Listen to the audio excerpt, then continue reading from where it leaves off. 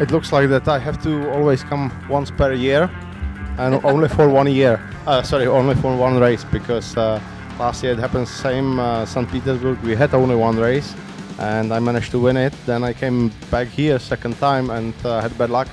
So uh, I knew I have some unfinished business here, and I also knew that this, that the level, uh, you know, the standards of the series is uh, is very high.